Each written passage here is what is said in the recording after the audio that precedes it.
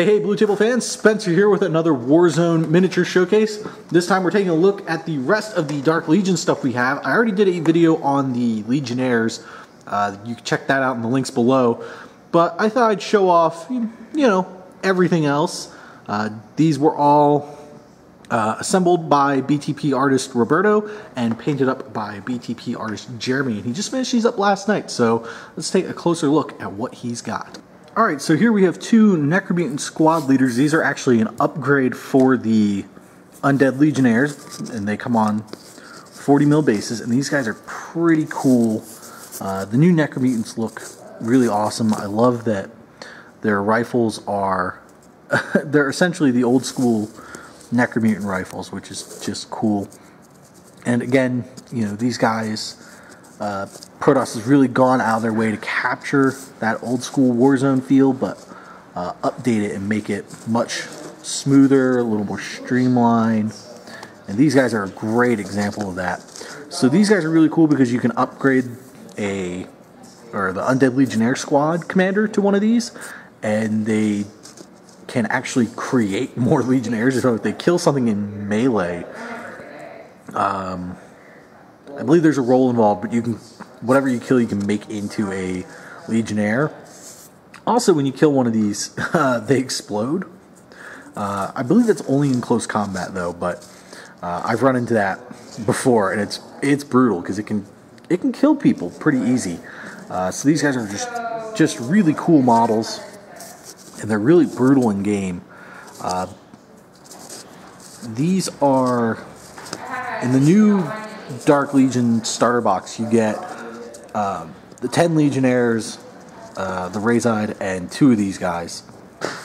So you get the option to upgrade your Legionnaires, which is good because Legionnaires really aren't designed for, for leadership. And these guys have so many special rules, they have heal and all that, uh, that really just makes them entirely worth taking. And here we have even more Necromutants. These are uh, just a regular Necromutant squad.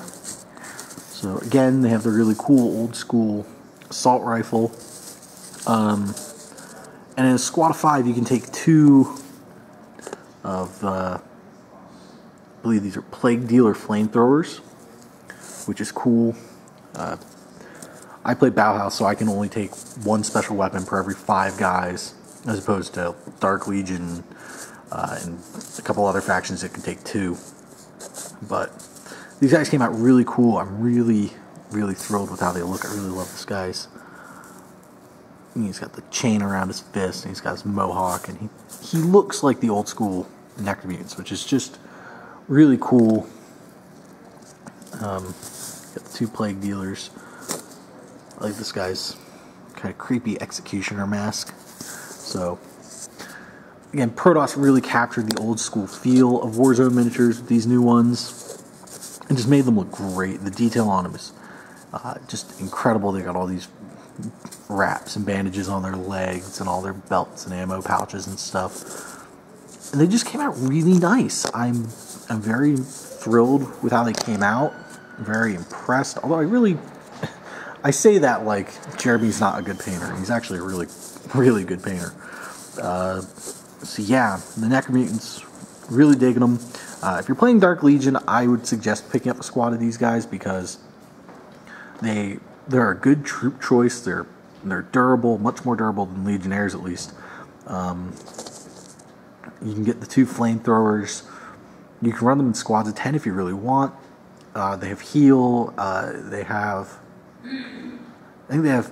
They get like heal eight against plasma type weapons. So that's pretty cool because most everything else in the Dark Legion army is kind of weak against plasma, but these guys are pretty strong against it. Also, with the new Imperial stuff, with all the gas weapons they're putting out, uh, Necromutants, uh, the way gas weapons work is you do a Constitution test, and if you fail, you take an automatic wound, no saves allowed. Uh, Necromutants get a plus four, I believe, to their Constitution test because uh, gas weapons really just don't affect them they they just don't care. So, yeah, a very cool unit, very cool models, uh, and highly recommended for anybody who's looking to pick up Dark Legion. Uh, so this is the last model you get in the new starter box. There's one more that came in the old starter box, which we which is what we had.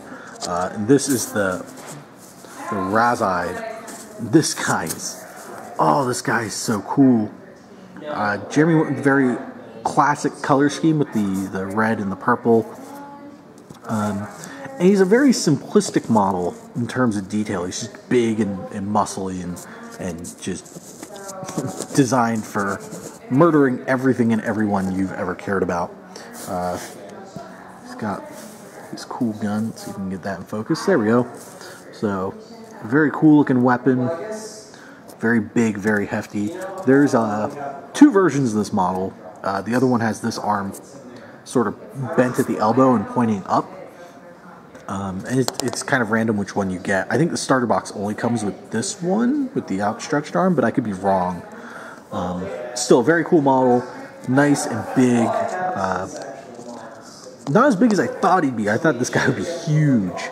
Um, but still a, a, hefty and impressively sized miniature.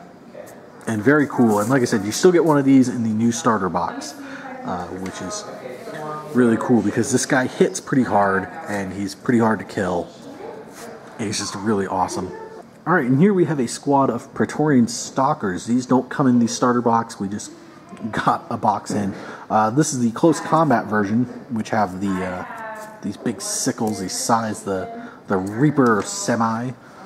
Uh, and these guys are just cool. There's two variants of this model. There's the close combat version you see here, and then there's a range combat version, which is the more uh, classic, traditional sort of Praetorian Stalkers.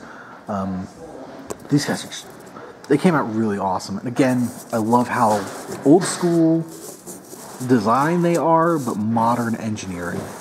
They they look like the old Praetorian Stalkers, but updated and sleeker. I love their armor is all sort of not filigree, but you know, it's got this patterning on it, which just looks really cool. It's got it all up and down the blade of the scythe. Uh, and yeah, these guys came out really cool. Jeremy did an awesome job on these guys. Very impressive models. Uh, they, man, they hit hard uh, because these guys have rapid deployment, so you can get them to your opponent really quick, really easily, and uh, just get into melee as, as soon as you want.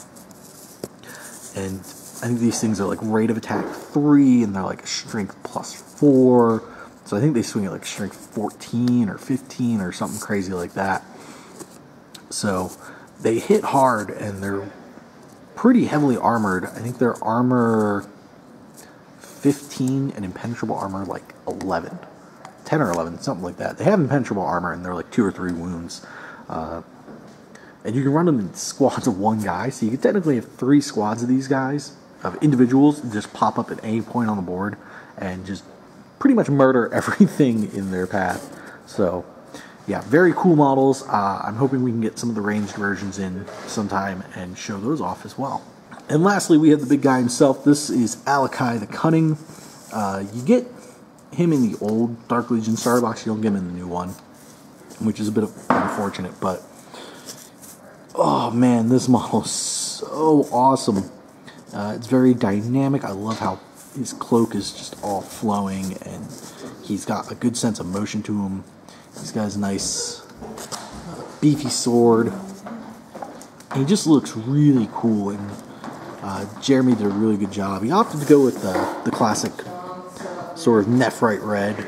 Uh, in the official art in the book, uh, Alakhai is sort of a bluish gray, uh, very similar to these guys but Jeremy wanted to differentiate him a little bit more, so he went with the red. Uh, he's got this cool mask here on his hip, uh, which would have been cool as a alternate head, but you know, uh, this guy was one of the, the first run models they made, so they weren't too keen on doing a lot of like alternate parts on on the the first wave of stuff. Newer stuff, yeah. Um, but anyway, yeah, this is just he he that is the face of pure evil, and I love it. This is just it's so cool to see Alakhai get an update because his old model is just terrible, uh, and this blows it out of the water pretty much without even trying. So, yeah, that is uh, the remainder of the Dark Legion stuff we have.